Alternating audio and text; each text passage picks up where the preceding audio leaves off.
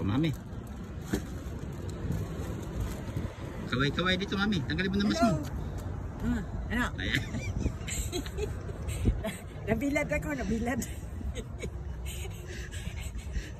Marami akong binili kasi minsan-minsan lang ito lalabas eh. Uy, tama na yun.